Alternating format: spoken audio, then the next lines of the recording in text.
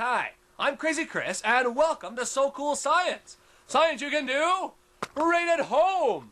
I'm just listening to my friend's heartbeat here and going over today's science file. What is a stethoscope? You definitely want to give this a try.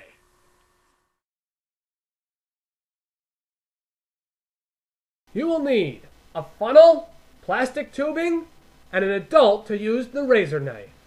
Using a paper tube to listen to someone else's heartbeat is pretty easy. Uh, not so easy when you try to listen to your own.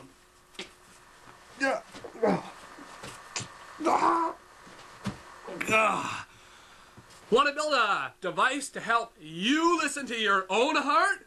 Well, first you need to get yourself a funnel. Ha ha! Oh yeah, and you're also gonna need some plastic tubing. Tubular. You can start by fitting the funnel into the plastic tube. Have an adult cut a length of one meter tube.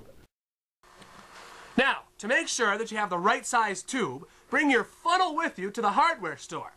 This way you can make sure that your funnel fits snugly with the plastic tube. Now, we gotta get our heart beating! Woo! Ha ha!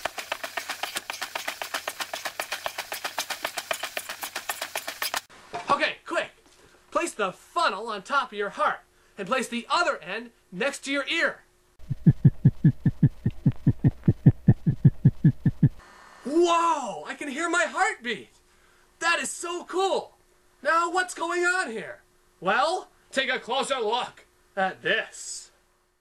A stethoscope is an instrument used to detect and study sounds coming from within organs such as the human heart. Although real stethoscopes use a bell and a diaphragm, this stethoscope works by using a funnel to help concentrate sound waves, which amplifies them or makes them louder. Then focuses the sound waves so they can be sent down the tube into your ear. The first stethoscope invented was by French physicist Rene Laennec around the year 1819, and it was a 25 centimeter hollow tube made of wood. So now you know how to make your own stethoscope at home. You know, being able to listen to your heartbeat is why science is so cool.